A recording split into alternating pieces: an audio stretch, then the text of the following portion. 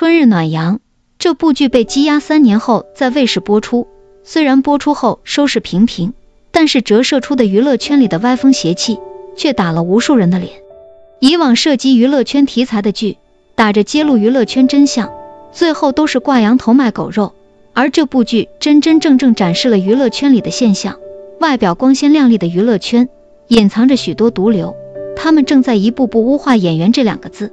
空有颜值的流量小花，可以对前辈指指点点，可以用数字说台词，制片人、导演还要阿谀奉承着。为什么？因为他上头有人。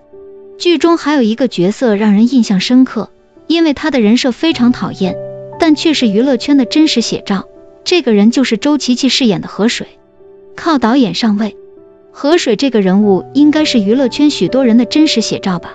热爱表演却没有演技。空有颜值却没有实质内涵，从二十岁到三十岁虚度光阴，到头来一事无成，还是一个话剧社的初级职称。想要获得成功，只能靠导演尚未得到女一号的角色，但是最后还是因为没能力被踢出剧组。想想其实也挺悲哀的，不择手段终归是没有好下场的。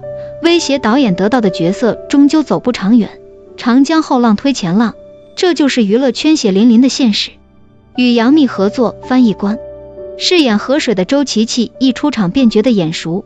查完资料发现原来是翻译官里的文小华，在剧中是女二号，与杨幂饰演的女一号乔飞争抢男一号程家阳。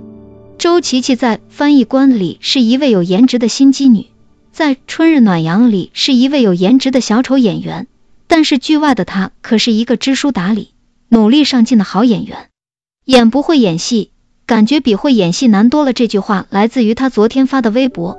在剧中饰演的河水演技非常烂，而他的表演把河水的烂演技表现的淋漓尽致，演的太棒了，观众看完都直呼辣眼睛。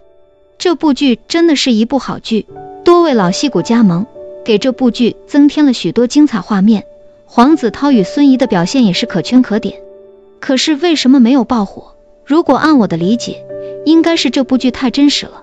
真实的太过了，因为生活在每日为五斗米折腰的社会，闲暇时只想看看轻松有趣的电视剧，而这部剧适合静下心来看。